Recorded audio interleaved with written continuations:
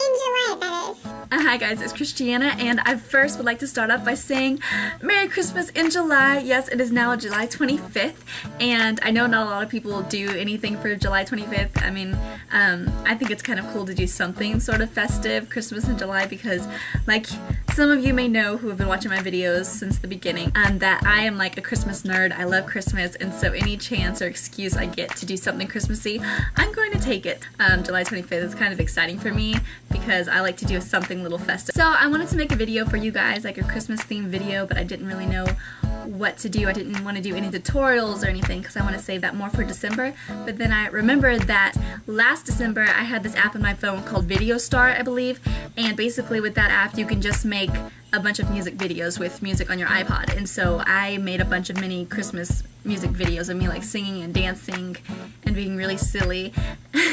being me actually. And then um, I just mushed them all together, like edited it all together. So there are a bunch of mini clips of me singing and dancing to Christmas music. And I thought that I would show that to you guys, even though I look completely ridiculous. But, um, you know, that was back then when I was seven months ago, an immature child. I've grown since then, so...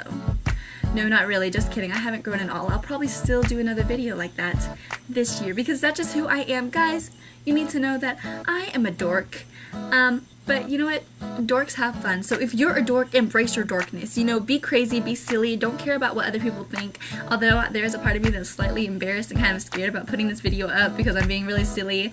Um, I'm just gonna do it anyway because that's who I am and I'm gonna be real with you guys and I'm just gonna be me. This life is way too short to care about what other people think and to live for other people and to be embarrassed by who you are because you need to embrace that and do not be ashamed of who you are.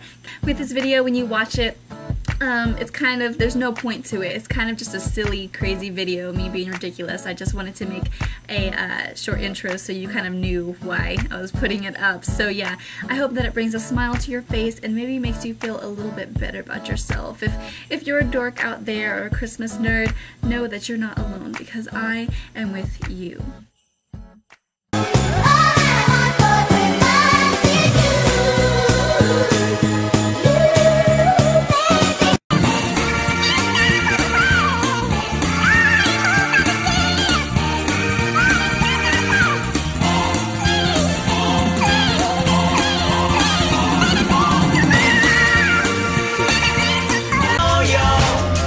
It's Christmas.